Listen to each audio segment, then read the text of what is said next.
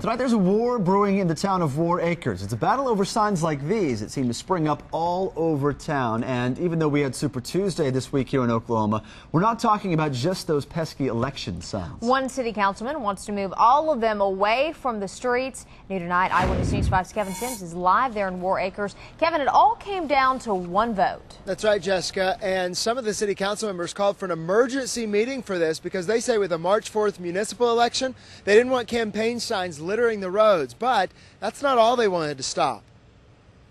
For the first time in her life, Cheryl Tobin is showing her political colors. Usually, I mean, it's like Tweedledum, Tweedledee. What politician and when are they got to get done anyway, you know? But some city council members want her sign, in fact, all signs, pushed back 15 feet. 15 feet.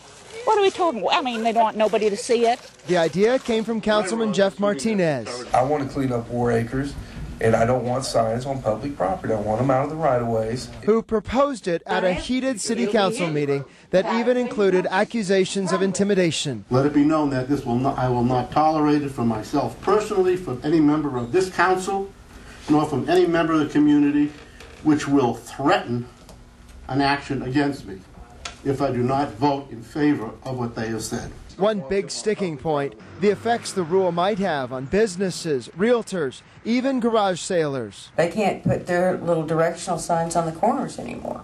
After a 4 to 3 vote, they still can.